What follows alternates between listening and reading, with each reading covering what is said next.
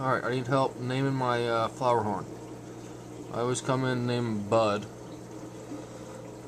Um, but I don't want to take away from uh, Buddy, the king of do-it-yourself, the Asian arowana, as you most people know.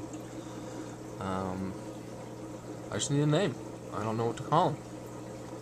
Uh, any help uh, names would uh, be appreciated. Thank you.